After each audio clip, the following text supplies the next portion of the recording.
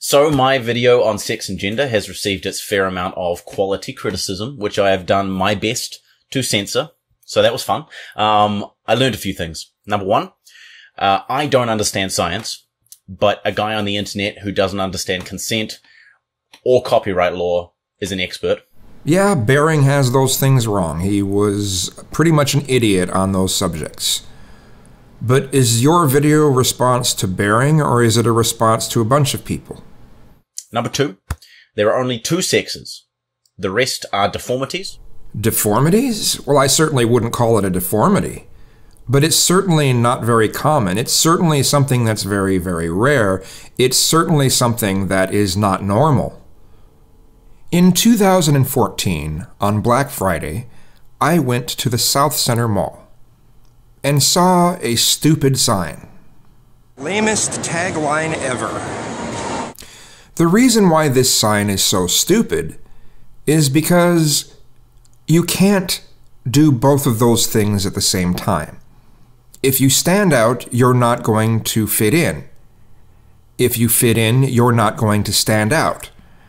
Now, Someone can stand out and be popular because they stood out, but it's not because they fit in. There seems to be a number of people out there who are promoting social justice who seem to think that you can do both of these things at the same time, that you can be normal and weird at the same time. It's like you want all the benefits of being normal and all the benefits of being weird. Well, you can't have both of those things at the same time. Choose, or have a little bit of both.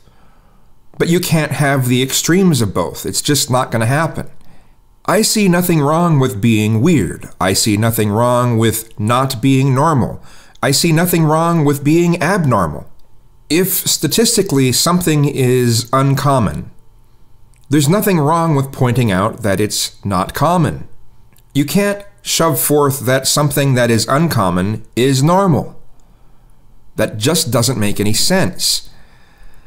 I know this is hard for some of you to look at the concept that you can't be normal and abnormal at the same time.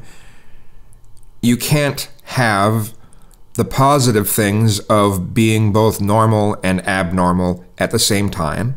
And I just wish some of you would get this through your heads. If you don't want to be normal, then be weird. But don't complain then that you're being treated like you're not normal. And if you're boring and mundane and normal, don't complain that people aren't treating you like you're not normal. It's pretty simple. Uh, three, I learned a new word, uh, and that word is transtrender. Now, what the fuck does that mean? When you talk about the term transtrending as if you've never heard it before, as if you've learned a new word, it makes me think that you're a fraud. You can't possibly have been on this platform over the past year and not heard that term before, especially if you are in the circles that you're in. Now, granted, maybe you're saying this just to try to make more of an emotional point about it or something like that. But it's not doing you well here. It's not, I'm sorry. You might rightly ask, well, dear friend, let's ask the internet. As you can see here, Urban Dictionary defines transtrender as a person who identifies as male or female but does not experience any gender dysphoria. It can also mean someone who identifies as male or female because they think it's trendy slash cool. There are a number of people out there who are into that whole fit in, stand out sort of thing. Companies wouldn't make that their tagline if that wasn't the case. Uh, the first thing I found hilarious about this word is the people who use this term are probably the same people who get upset at SJWs for making up new words. You're probably right. I'll give you that. uh, and the second, which is uh, not so funny, it's just straight up transphobic.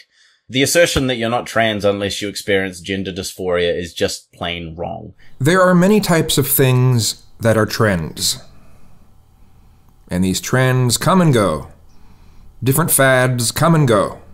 Right now, the phrase transvestite is seriously, seriously demonized. It used to be something that someone could just say and say, oh, yeah, I'm a transvestite. Yeah, I like to dress in women's clothing. And people are like, oh, okay. There are some people who obviously would make a big deal about it, but I've probably understated that a little bit. It's only been like the past 30 years that this sort of thing has gained really any acceptance. It's still considered one of the most unacceptable things for a guy to show feminine qualities. Um, it's getting better. It's always getting better. But it's still looked at very, very, very negatively. The guy is supposed to match the gender role that is assigned to them by society. And if they go outside of that, they're given a really hard time. So, yeah, that still does occur. But it is a lot more accepted for someone to just be like, well, yeah, I, I, like to dress this way, I like these things, than to make people feel bad for not using certain terms. But the way things are anymore, you can't just be a transvestite. But it seems that someone being a transvestite has never really gotten that much more accepted than it was in the 80s. Uh, which is kind of sad. It should have gotten a lot more acceptance, but it hasn't. Um, drag queens have gotten a bit more accepted, and that's primarily because of RuPaul. And there have been a couple movies like uh, Priscilla, Queen of the Desert.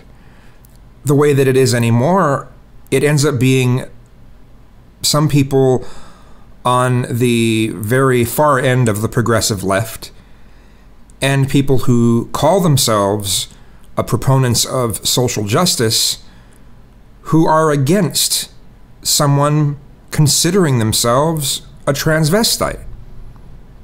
They're like, well, that's an archaic word. That's that's a legacy word. You shouldn't word it that way. You're supposed to use one of these new words. People can't just simply like having the appearance of the gender that's the opposite of what they were born as. It's just not allowed in the social justice uh, side of things. Anyone who says the word transvestite is demonized just for saying the word. Now, if there are a lot of people who just want to go outside the fashion standards and, you know, visually and even maybe the way they act want to go outside the social standards for what they're supposed to be if they're a man or a woman, uh, why should they have to associate with one of these new trans phrases? Well, that's the element about this that it's a trend. That's the element about this that makes some people a trans trender. Now, I must admit, I do find the notion of someone who is transsexual not having gender dysphoria, that's really pushing things. That's pretty out there. In fact, the definition of these things was recently changed in the DSM so that trans folk would no longer be classed as mentally ill. Official positions have nothing to do with whether or not someone might be a trans trender. To me, an example of a trans trender would be Chris Crocker. Chris Crocker was a transvestite, and he might still be a transvestite. It's just something that he enjoys doing. For a while, he was caught up in all of this trending stuff where he was trying to say that he was transsexual. Well, then he changed his mind on this because he realized he likes being a guy, but he also likes dressing as a woman. What's wrong with that? Well, nothing's wrong with that. But you can't label it transvestite or you get demonized. See, there, there's nothing wrong with someone wanting to dress differently. There's nothing at all wrong with that. And I think some of the standards that we put on clothing, oh well, this is a man's clothing and this is a woman's clothing. I, I think it's I think some of this stuff is kind of silly. Some of it maybe not so much. Um, some of it, some of the clothing out there is designed to accentuate certain shapes. Usually, a guy has a certain type of shape. Usually, a woman has a certain type of shape. And these cl- types of clothing try to accentuate those things. But outside of that, a lot of these standards out there are, are kind of silly, honestly. Um, at least as far as I'm concerned. It all has to do with tradition, you know. But what's wrong with someone being a transvestite? Well, it's not politically correct according to social justice. It's not something that you should say. You should word it differently. You should you should join the clan of of this attempt to make people feel bad unless they word things the right way. Similar to how back in the 70s homosexuality had its definition changed so that homosexuals were not classed as mentally ill basically you can be trans and not experience gender dysphoria, which is a disturbance or distress which can arise as a result of one's trans nature. So someone can feel like they're in the wrong body without feeling like they're in the wrong body? Granted, I don't think that's what you probably meant. You're probably saying that those who have body dysphoria, which I guess is different than body dysmorphia, which I don't quite know the difference between them yet. And it has been described that you don't seem to know the difference between those things either. But body dysphoria is when someone is stressed about feeling like they're not in the right body. What is the word to describe when someone feels like they're not in the right body? What is that phrase? Because if someone feels that they are not the gender that their sex is, then what do you call that? And how could someone possibly be trans if they don't have any negative feelings or about the body that they're in? And then at that point, where do we draw that line? If someone just doesn't look the way they would prefer to look, would that be classified the same way? I don't know. Some even posit that societal pressures, norms, and expectations can be part of the reason why some trans folk experience gender dysphoria. If you're talking about people feeling bad or people feeling some sort of sense of shame because of society, then yes, you're right. You're right. But as far as someone feeling like they're not in the right body, what does society have to do with that? Now, if someone doesn't feel like they're in the wrong body, but they just have certain likes and dislikes and ways they like to dress and carry themselves, what does that actually have to do with being trans? I mean, I like being fat and I like to flaunt it.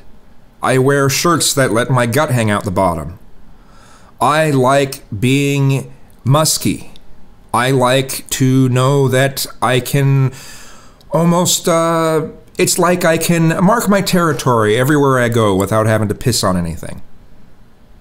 You know, I like that. Does that mean I'm trans animalistic? Does that mean I'm, you know, before I was heavy, was I trans fat? I mean, where is the line? The line isn't being drawn. This is why people make some of these comparisons that they do. You know, where is the line? And if you can't define that line, you can't blame people for bringing up extremes. And the second part is equally as stupid. Who are you to decide whether someone is doing something because it's trendy or cool? Well, you're right about that, and the best that people could do is guess. And the guess is probably going to be wrong why are you the one who decides if someone is a real trans or, you know, like a fake trans? There are obviously some people out there who bring this stuff up to try to shame others. There are other people who try to bring this up who are trying to say, hey, um, there seems to be a trend going on here, and there seems to be some people who are being made very confused by all of this stuff. The way this stuff gets talked about is very confusing to people. To say that, oh, a lot of people are confused, I think that's a fair statement. I think there are a lot of people who are confused. And life is tough enough for young people in trying to find their identity in general. We're all trying to find our identity. And this stuff doesn't make that any easier. This stuff makes it infinitely more complex. So during a time when people are already struggling, this stuff makes them struggle even more. There are obviously going to be some people who aren't really going to know where they fit into all these new terms and these new words that get brought up. It kind of reminds me of those people who uh, say they know what real racism is, and it's not the things that they're doing that is causing people to call them racist. So you're going to mention something that would normally be something people could use to prove you wrong, and you're going to try to use it to prove you right? Um, whether someone is racist or not doesn't have to do with how they feel about whether they're racist or not. It has to do with their actions. Uh, it has to do with how they look at people. It has to do with what they defend. It has to do with a number of things. And that person themselves may not consider themselves racist. In fact, there are very few people out there, out there, there are very few people out there who actually call themselves racist. Um, I don't see how this is helping your case here. I, I, I really don't. You're, you're bringing up something that could be used to prove you wrong, and you're trying to use it to prove you right. That's a very strange uh, method you're using there, man. That's very strange. It's actually the people who are calling them racist who are the racist ones. Someone on Twitter actually said to me that there are more trans trenders than actual trans folk. How could you possibly know that? How, how, how would you, uh, what? I'm certainly not going to make that claim, but how do you know that it's not true? What do you have to prove that uh, the large majority, the overwhelming majority of people who are talking about this stuff, where this is a trending topic, um, how do you know that what that person said is not true? What proof do you have? We don't have any proof either way. It's all conjecture. What?